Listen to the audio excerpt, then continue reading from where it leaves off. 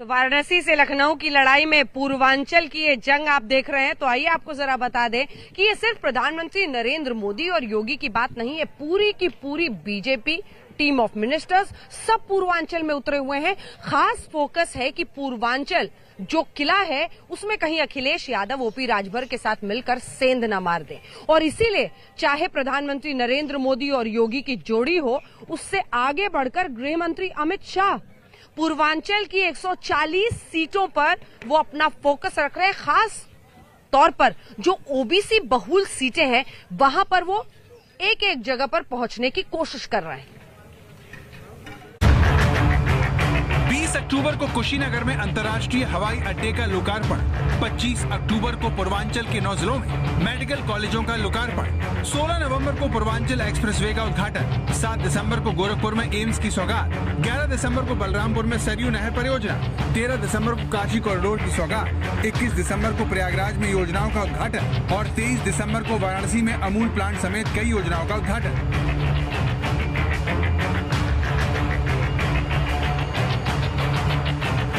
पिछले दो महीने में पीएम मोदी लगातार पूर्वांचल का दौरा कर रहे हैं और उत्तर प्रदेश के इस इलाके को बड़े प्रोजेक्ट की सौगात दे रहे हैं। लेकिन सवाल है क्यों?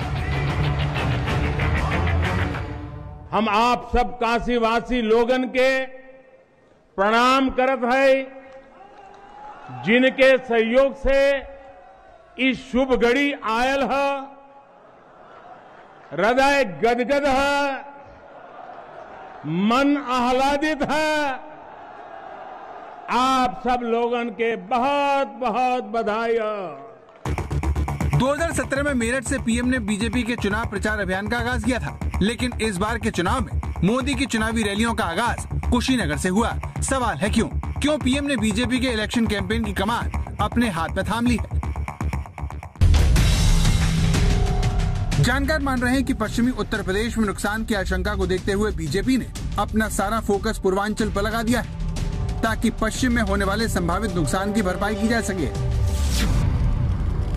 2017 के विधानसभा चुनाव में बीजेपी को पूर्वांचल की 156 सीटों में से 106 सीटें मिली थी। बड़ी बात यह है कि चाहे पीएम नरेंद्र मोदी हो, मुख्यमंत्री योगी आदित्यनाथ हो, या फिर अखिलेश यादव, तीनों नेताओं का सीधा संबंध यहाँ से है। इसीलिए पूर्वांचल की जंग चुनावी हार जीत से कहीं आगे साख की लड़ाई का केंद्र भी बन चुकी है।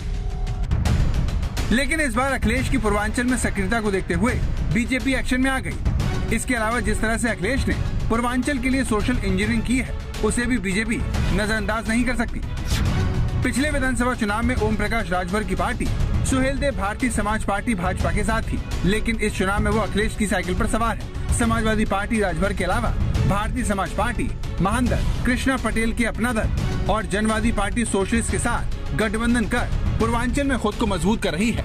यानी पश्चिमी यूपी में अखिलेश मज़बूत दिख रहे हैं। तो पूर्वांचल में भी वो अच्छी पैठ बनाते दिखते हैं। अभी तक जो उद्घाटन हुए हैं, ये शिलान्यास का शिलान्यास हुआ है, उद्घाटन का उद्घाटन हुआ है। इसलिए समाजवादी पार्टी ने कहा है कि ये सरकार ऐसी है जो नाम बदलने वाली है, रंग बदलने वाली है, और फीता लखनऊ से दिल्ली से कैंची और उद्घाटन हो रहा है लगातार।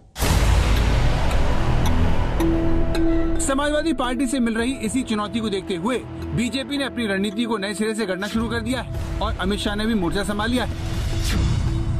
शुक्रवार से अमित शाह प्रयागराज से अपना मिशन यूपी शुरू कर चुके हैं, जो 4 जनवरी तक चलेगा। इस दौरान अमित शाह 21 सभाएँ और तीन रोड शो करेंगे। अमित शाह 140 विधानसभा क्षेत्र को कवर करेंगे।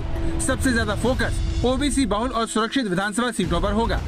शाह के दौरे का प्लान सूबे के जातिगत समीकरणों को ध्यान में रखकर बनाया गया है। जिसमें ओबीसी बहुल सीट को खास तवज्जो दी गई है ताकि अखिलेश की चुनौती से बेहतर ढंग से निपटा जा सके। आज तक ब्यूरो।